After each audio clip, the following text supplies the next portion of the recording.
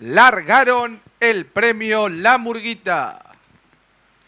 Salen agrupados los competidores, trata de hacer la delantera por el lado exterior de la pista. El 9 logra tirar un cuerpo de ventaja sobre el 5. La tercera ubicación viene corriendo abierto el 10.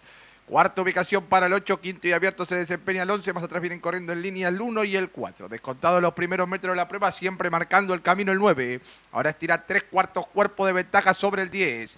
La tercera ubicación lo viene haciendo abierto y rápidamente en busca de los puestos vanguardia del 8.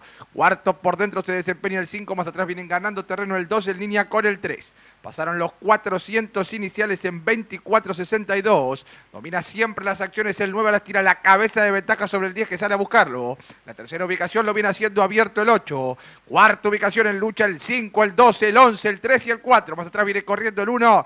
Los participantes frente a la señal indicatoria de los 600 metros, los 800 en 48-62. Varios competidores en lucha por la primera ubicación. Por dentro 9 abierto el 10, más abierto el 8. Ya están en la recta final.